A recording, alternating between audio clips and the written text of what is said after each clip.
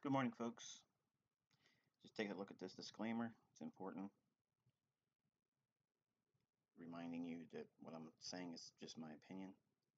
Don't believe a word I say.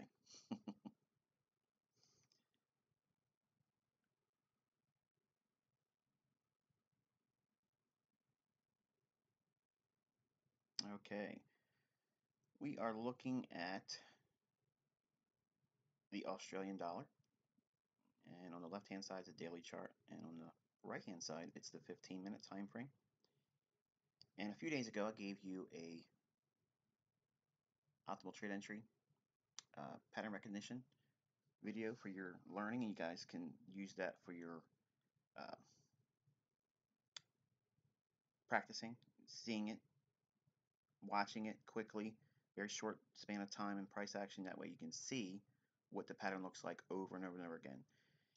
Only by doing that, or by making your own charts every day and putting them into like a journal, screen capturing the chart, okay, and as soon as you think you see the optimal trade entry, screen capture that and then watch it pan out.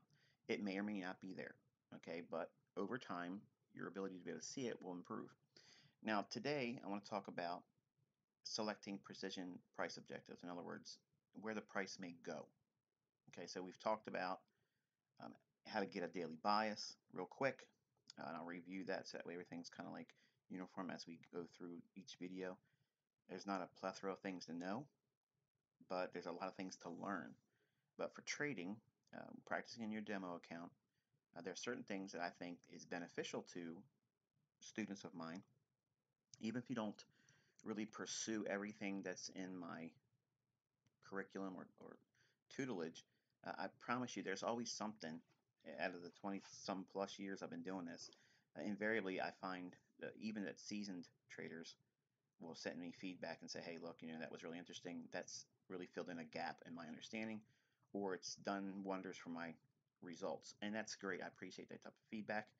But today, we're going to look at the Australian dollar, and then I'll kind of recap with uh, the British pound. So for teaching purposes, we're going to start off on the daily okay and I want to bring your attention to this little candle right here okay? And the first thing we look at is are we working off of a swing swing high or a swing low?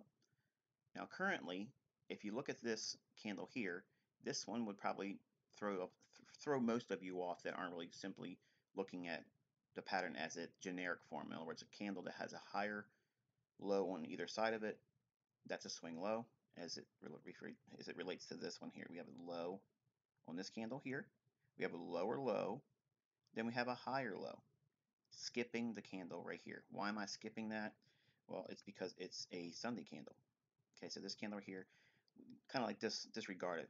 Dismiss it. Don't think it's there at all. Uh, if you have a platform that doesn't have Sunday candles, you are at an advantage because I'm teaching through a Forex LTD demo.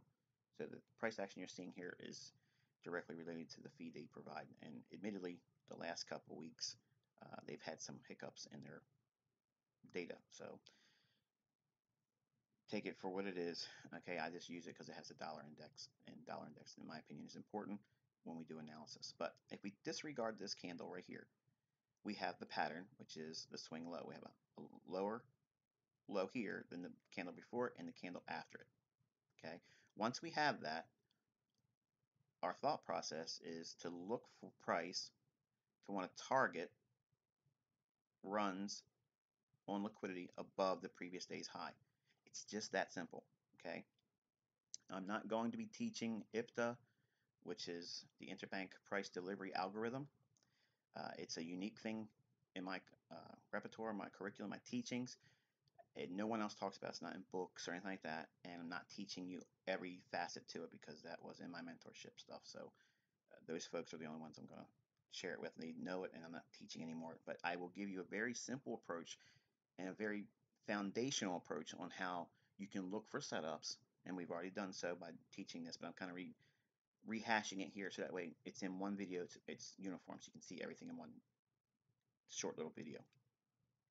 So we have a swing low, and then the expectation is, is the algorithm that the price engines use for delivering price to all of our feeds Now there's going to be a, a slight skew in what price we see and what is actually on the interbank level. I'm not going to get into that, just understand that there's always going to be some slight variance between what you're using to trade with and what I'm showing. Okay, everyone's broker is going to have a slightly different quote high, quote low.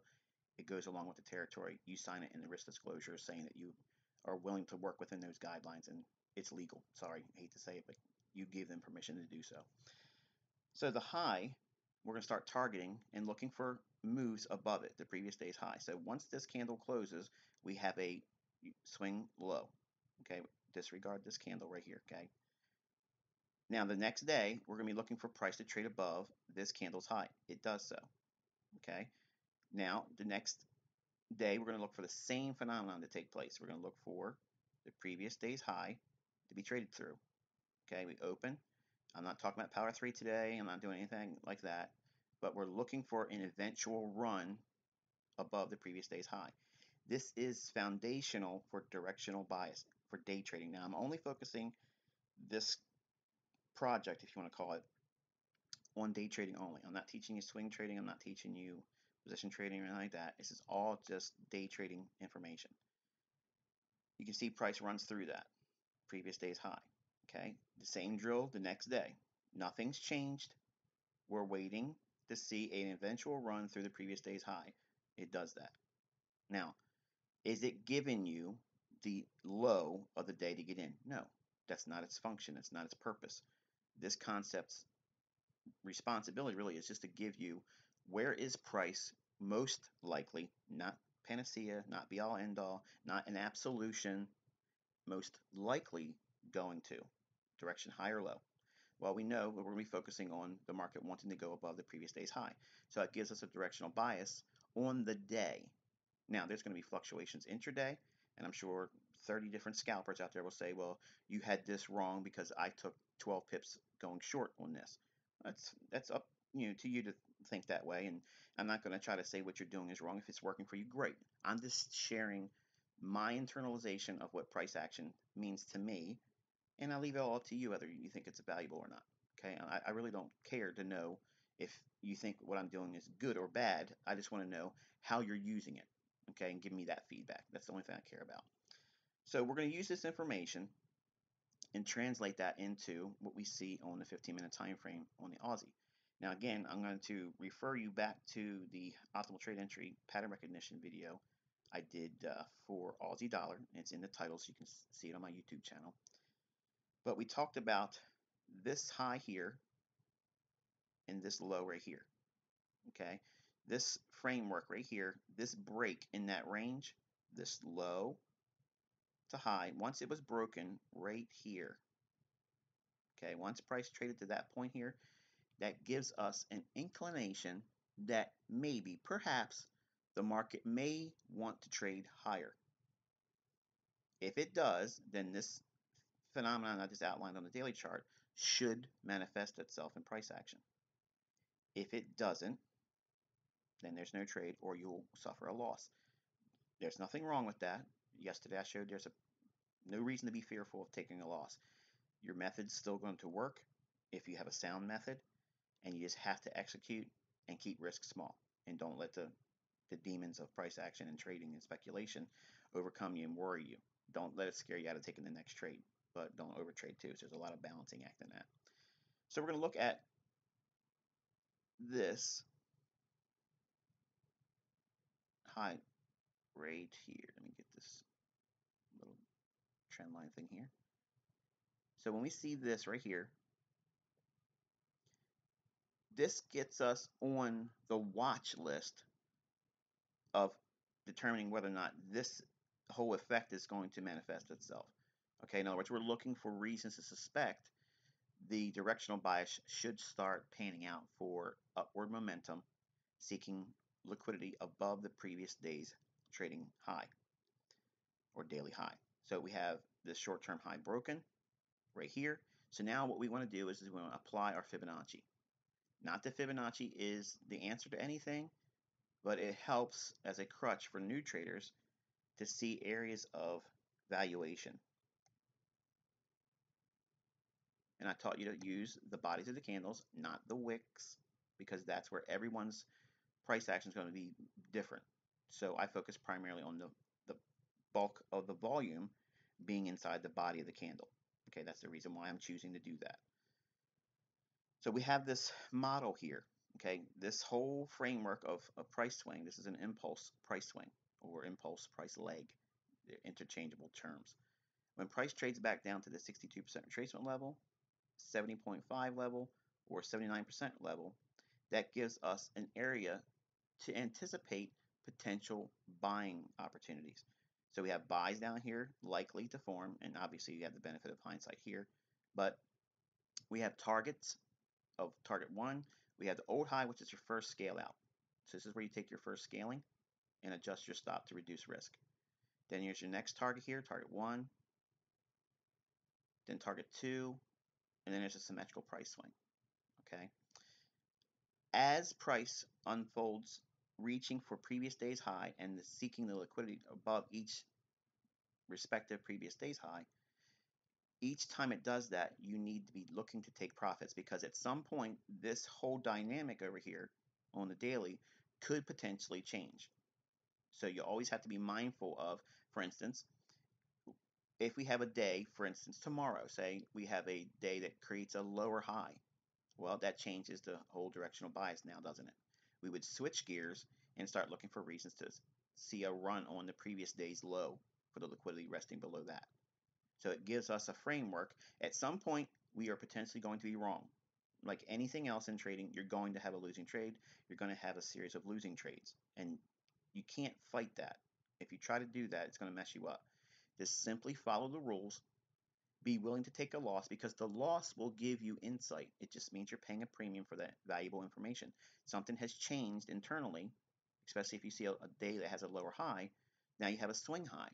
And then you'd look for reasons to start looking for price breaking to below the previous day's low. Now, if it doesn't do that after the formation of the daily swing high, then we may be consolidating, or it could be just a retracement to go higher again. And once we take out the swing high that formed, it's high, then everything resumes back in this uh, model where we start looking for runs on previous day's highs or old highs, which would be the case over here. Okay. Real simple way of approaching building a daily bias. It's the closest thing I can give you that can be written on the back of a business card that is so good it blows the doors off of most retail stuff. Okay, because it gives you a real quick way of internalizing from an institutional standpoint where liquidity is and how this how to determine what side of the marketplace it's going to target. All right, so now I'm going to maximize this chart over here. Okay, and you can see this is the chart that we shared on that video. And we've just fallen short of target 2 over here and started having a deep retracement. It does not mean that the model on the daily chart, when it does this, that the daily model or what we're looking for for daily bias going higher, this doesn't change that. Okay, what we had is, we had a consolidation, a rally up, target two didn't get hit, no problem. We have a retracement and then it sells off again. I want you to look at this portion of price action right in here. If we're bullish, as we were indicating on the daily chart, I'm going to change the color of this rectangle and see. If we have, uh, let's go with this.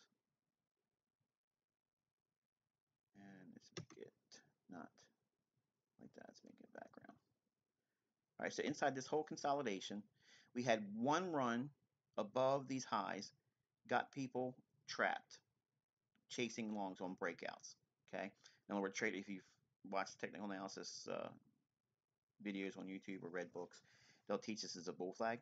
It rallies up, consolidates, starts to run higher. It's probably going to do the same move from this low up to the high, added to the low and projected up. They got burned there. Okay, that's why I'm not a real big fan of traditional technical analysis because they're used many times to manipulate the thought processes or build sentiment that many times is the incorrect perception of what price is most likely going to do. So we have a consolidation. We have a false move here or break above old highs. They sell off of that and they run back down below what side of the marketplace? Below the consolidation lows. That's right here. Now, If we have the understanding or expectation that the daily chart is predisposed to move higher, each trading day looking for its respective previous day's high to be taken out, we have a bias that means it's most likely going to go higher. So anytime we drop down, our thought process should be switching to, okay, it's probably going down to knock out weak bulls or trip in rushing bears. Folks that want to get in on a break below these lows. Okay, if you look at indicators in here, and I'll just throw one up here just for the, the amusement of it. Um, from using these highs to this high here, momentum indicators, this is really big on Facebook and, and, and folks that use that kind of stuff to convince their spectators that they have a, uh, a beat on what price is doing. You're going to see a divergence in here. And we'll just use that. It's a good setup. All right. We have a high here and a high here. Slightly lower high here. But even on this run to this candle failure, if we use a percent, it's slightly different. Let's do this. Use 14%. Oh, I'm sorry, 14K period. And we'll smooth with, that's, that's good. We'll smooth it with that. Anytime price comes down below old lows, if you want to use a momentum indicator, that means like stochastic, I like stochastic. Um, RSI, I can't stand it. Um, MACD is so smooth unless you're using it for long, long, long-term position trading. Uh, I don't think it's beneficial either unless you use the histogram. And again, I'm not trying to teach indicators, but I would be very safe in betting that the new crowd that has just started following me uses things like this in their charts. Okay, and they're looking for overbought and oversold. If you blend what I'm going to show you here, you're going to see that the indicators work then. And that's the times when we see them in textbooks where they work and it's favorable to have been a follower of that perception. Uh, that's what tricks people. That's what tricked me when I first started trading. But it doesn't give you the context of when to use the indicator. You know, they'll they'll tell you when the moving averages are going up, it's a bull market, so they're look for the bullish divergence. Well, sometimes that works, and sometimes it doesn't. So if we know what we're looking for in terms of how the market will reach for liquidity, as I defined on the daily chart, we know that that's what we should be focusing on. Any other retracements of any kind, until it changes the tone or storyline that's on the daily chart, everything going down on the lower time frames is simply new buying opportunities. It's going down to screw up the mindsets of those individuals watching one and five minute charts. Because if they see moves like this, they're going to think right away it's going lower. So therefore, be short. And traders that want a lot of confirmation behind their ideas, they will have sell stops triggered right below here because they don't trust what, what's going on. They just want to follow the rushing tide. So if price starts to break down as it does below here, they're short. Well, they see a momentary profitability. I'll, I'll say it like that, quote unquote. But right away, it's taken away from them and snatched and drawn against them in another direction. This whole move here was not by coincidence. It's not by uh, you know randomness, and it also comes by way of a bullish divergence. There's where your bullish divergence works in momentum indicators. We're extremely oversold, and we're below old lows. Okay, so what I'm actually giving you is a perception on where price will go to a point to take out long holders. Now think, if they were lucky enough to buy over here, they've held through this whole period of time and they watched it drop down to right where their stop loss would have been because the textbooks teach this is a double bottom. So as price ran up, where would they have placed their stop loss on their long position? Right below there. So when we see drops or declines against the higher time frame daily chart that is giving us clues that it's most likely going to go higher than the previous day's high. Anytime we drop down below old lows, that's most likely a stop run. And you can anticipate that. And if you haven't taken a position yet, you can buy just on the basis of that alone. So I'm giving you a little bit of blending on how you can use the retail crutches that are available, but using them in the right concepts and, and, and time, using proper context. So we're going to take this nonsense off. Okay, go right back to price action. So now we had this consolidation, a false run above, and then make a run on long holders. Notice how after they've taken the stop losses away and out of the hands of the long holders that were maybe from over here, maybe someone got lucky and bought it down here. I don't know. I don't care to know. All I know is, is when it has equal lows like this and the market's predisposed to go higher, that's going to be what I call candy land. Okay, they're going to go down here and take those stops away from them. Imagine you want to get somewhere, okay, and the bus is full, but you're a big, strong guy, okay, you're a bully. You can go on that bus, snatch somebody out of their seat, throw them onto the street, and then take their seat over. Well, that's what the market makers do. You had your seat on the bus, you've been getting closer to your destination. You get real close to the destination. Oh, we got a detour. Can't go any further. Okay, we come back down here. When we get to this point here, start to go a little bit higher. You feel like you're getting somewhere. No, we go another detour in the bad section of the neighborhood. Okay, and the guy comes in, knocks you off the bus, and takes your seat, and then ultimately goes where you want to go ultimately, but you can't get there. So you've given up profit, and you've given up your seat on the bus, and you never got to the destination you were intended to go. So that's the storyline I teach, kind of like with my kids, to make it palatable so you can see it a little bit in price because looking at like this it's abstract. But when you apply things to understand why the price is doing it the mechanics behind it that's what it is okay?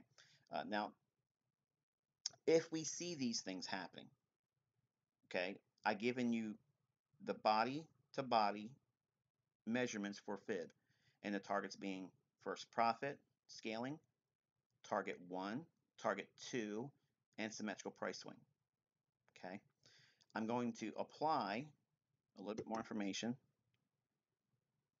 to save some time because I did a little bit more jawboning today than I wanted to. And I want to go back out to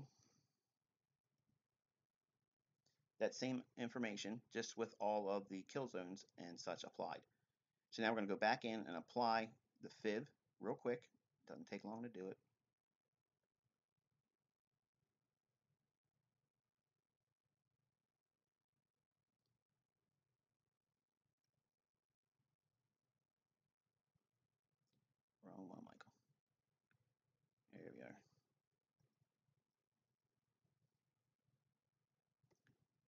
This real quick while I'm thinking about it.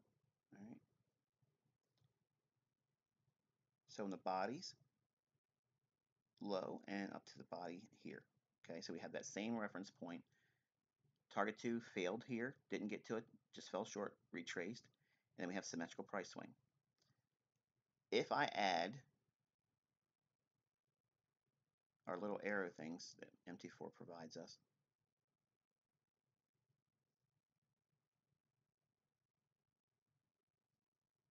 I can quickly add where the price objectives would be.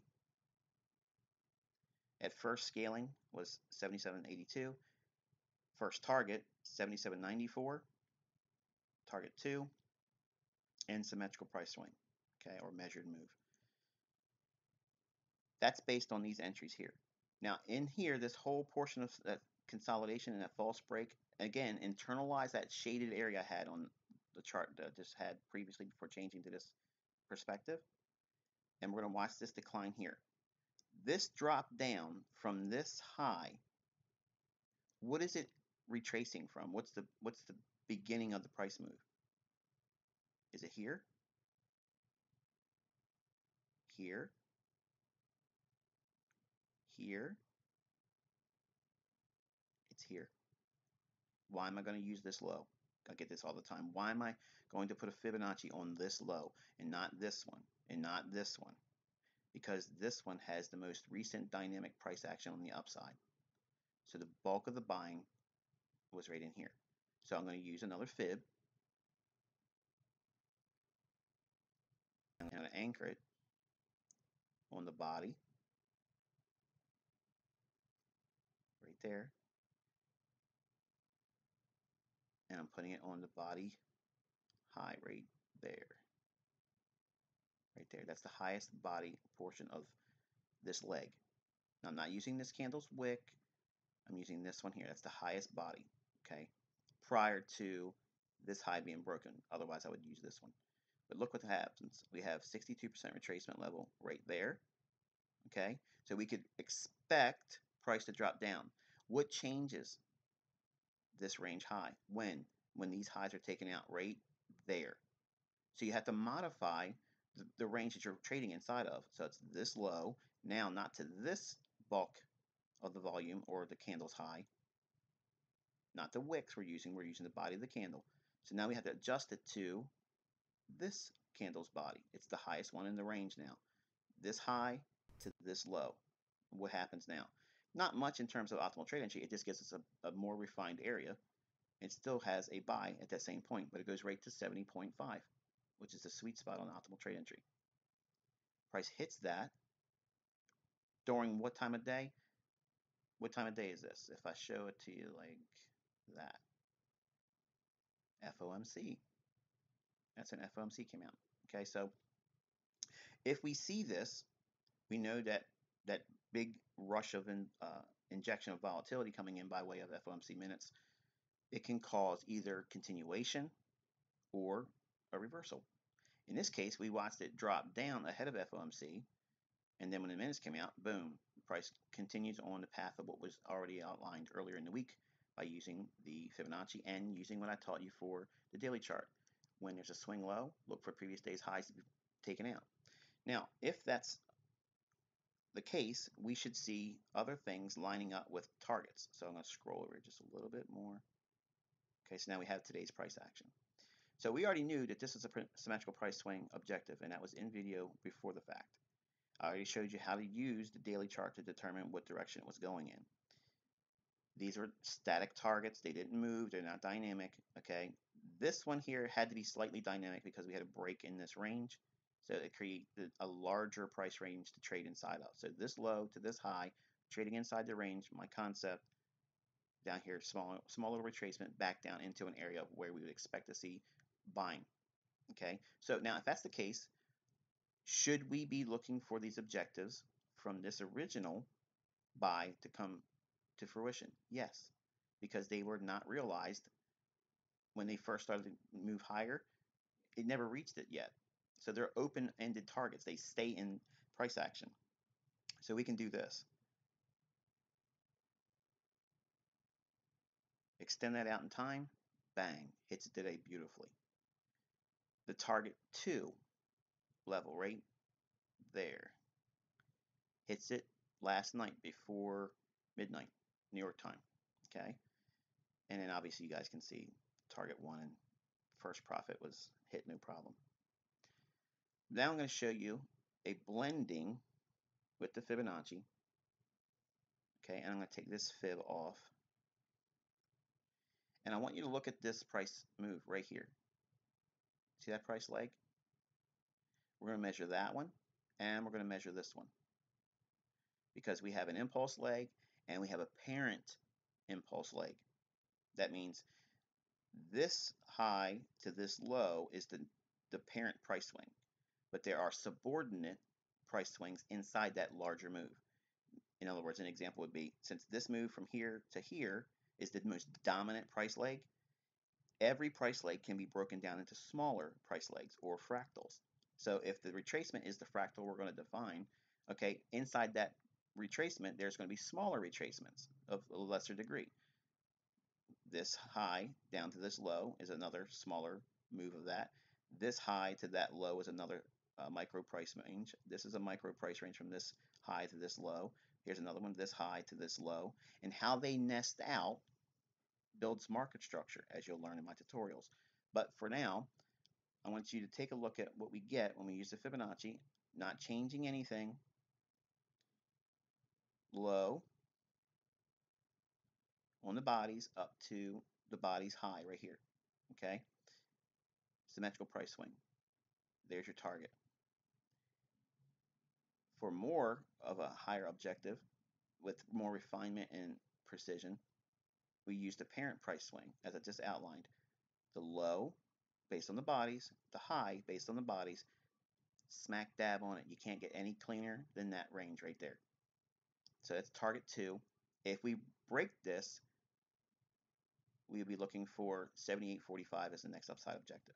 But right now, that is beautiful. That's a beautiful example of precision objectives using the fib, using the directional bias, and it also overlaps very handsomely with the 7828 that was already arrived at way back here on the 6th of October. That was really confirmed with the response on optimal trade entry here and price moving up like that. We know that these objectives were most likely going to be in play, potentially there. It doesn't mean that it's going to stop. It can't go any higher than uh, 78.28. It just means that these are reasonable price objectives, and as price moves up into that, you want to be taking profits because you don't know if either one of these are going to cause a situation like this, where we have a deeper retracement where they come back down to take out long holders to unseat their position and take that position over so they can ride to the profitable objective. But that this is one element in how I use for my targeting. Now, admittedly, and my mentorship knows this as well because I preach it.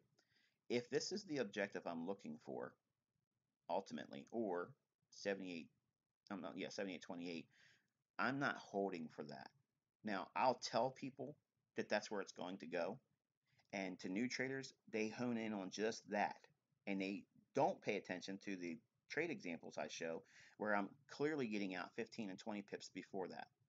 Now, to the pundits and the people that are just really not interested in learning, they just want to be detractors, they'll say he doesn't follow his method.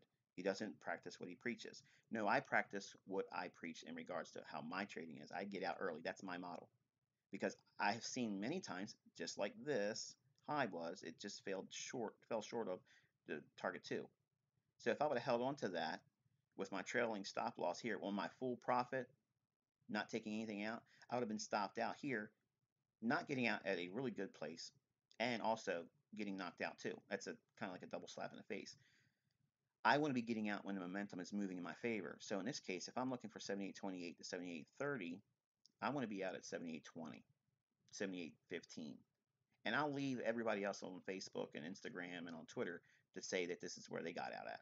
But I'll tell you that that's where the market's going to be drawn to. But will I be in it the entire time? 90% of the time, no. Unless I'm purposely, like I did in the past. And I'm trying not to do this, but I tried to show off in the past and show I can hold the position right to the last point. And sometimes it works and it turns you into a superhero. Okay, you got an S on your chest. But it doesn't mean that I'm trading that with live funds and holding it to the last position uh, exit point because I'm not doing that. I'm looking to get out sometimes 15 to 20 pips early, and I'm content with that. There's much more consistency with doing that if you're looking for objectives than that of holding for the full profit potential because your ego needs that stroking or you need to feel like you were right by doing that. You're not incorrect if you get out early and price goes to that price point because this is what led me to believe that price would go to that point. This objective, this unfulfilled price objective is what's drawing price higher. Why? The algorithm will look for liquidity to a certain degree of price range. And I'm not going to teach all that here, but long and short is it's a repeating phenomenon. And just with the Fibonacci, it's easy for me to communicate that visually. And it gives you a very easy way of digesting at least what I'm saying and not look like I'm just pulling things out of thin air. Because there is a rhyme and rhythm, rhythm to how these markets move. They're predetermined and they have a scale they work within. And until like non-farm payroll or FOMC or an unrelated uh, event like a terrorist attack or a war uh, scenario, they are pretty much you know locked inside of a parameter. Okay, they're not going to limit, uh, they're not going to expose the entire economic uh, infrastructure to collapse on the basis of randomness. It just it doesn't work that way. Okay, so I'm going to end this portion about the Aussie dollar, and I'm going to go over to cable real quick and finish this presentation up for today. Um, we talked about the British pound being bullish, and I gave you an example of uh, how it was going to run above the previous day's highs. In the same scenario here, um, we'll go and add the horizontal line here. This was the previous day's high on Tuesday for Wednesday's trading. We traded through that, and my exit point was right in here. Then we had a little bit of retracement, and then at the five minute mark, okay, at the five minute mark, actually, let's do this.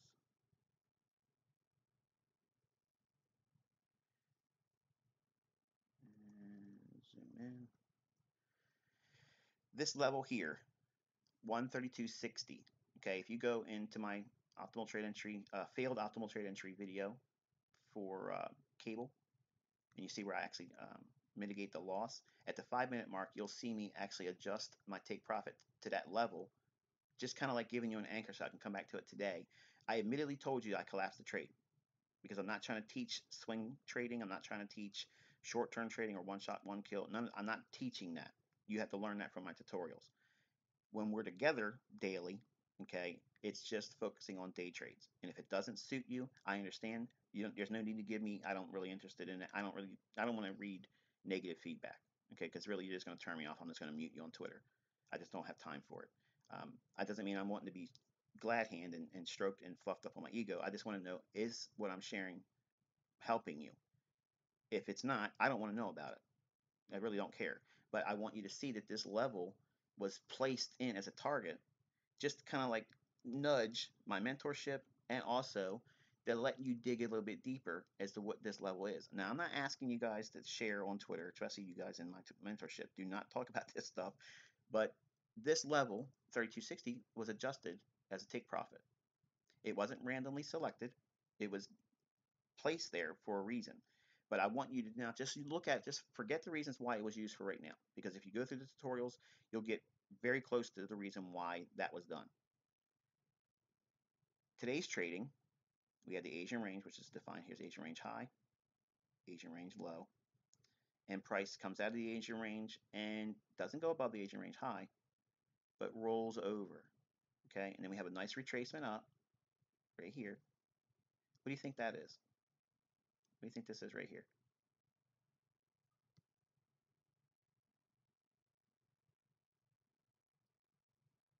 Bodies